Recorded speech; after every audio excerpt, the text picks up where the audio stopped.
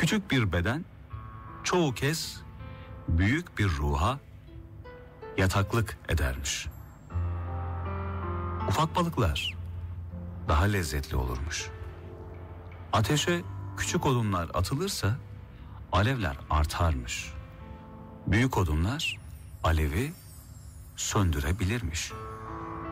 Her küçük şey mutlaka bir işe yararmış. Birçok küçük bir büyük edermiş.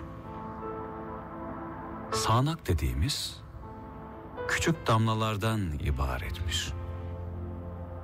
Ufacık bir yağmur kocaman bir toz bulutunu yok edebilirmiş. Muazzam bir aydınlık küçük bir delikten görünebilirmiş. Küçük bir saman çöpü rüzgarın yönünü gösterebilirmiş. Bütün bir hasat bir kıvılcım yüzünden elden gidebilirmiş. Büyük bir geminin batmasına küçücük minicik bir delik yetermiş. Çok veren malından, az veren canından verirmiş. Yükte hafif olmak, pahada ağır olmaya engel değilmiş. Deve büyükmüş ama ot yermiş. Şahin küçükmüş ama et yermiş. İnsan küçük bir adama iyiliği dokunduğu zaman cömertliği öğrenebilirmiş. Büyük adama iyilik ederse öğreneceği şey ızdırap olurmuş. Büyük makineleri küçücük çarklar çalıştırırmış.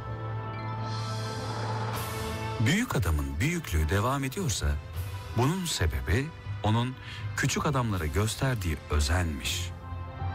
Bazen büyük bir aşkı başlatan küçük bir gülümsemeymiş.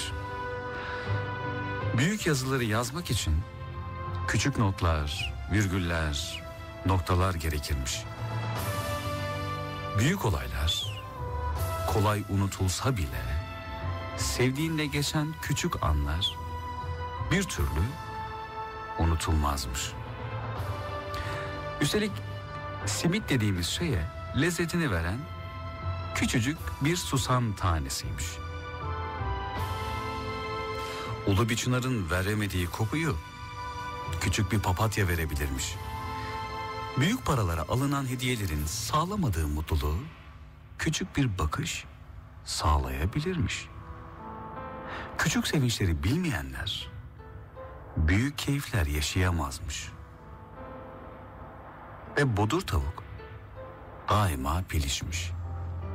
Aslında küçük dediklerimiz çok büyükmüş.